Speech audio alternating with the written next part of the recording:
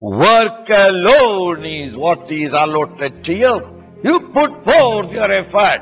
Never shall you allow your mind to be dissipated about the result of the action which is yet to come in future. Future is a closed book for us. Don't waste your time worrying over what will happen. Nothing illogical ever happens. Therefore, if the present action of mine is efficient and competent, if I can really cope up with the present situation, the future will be my harvest in success.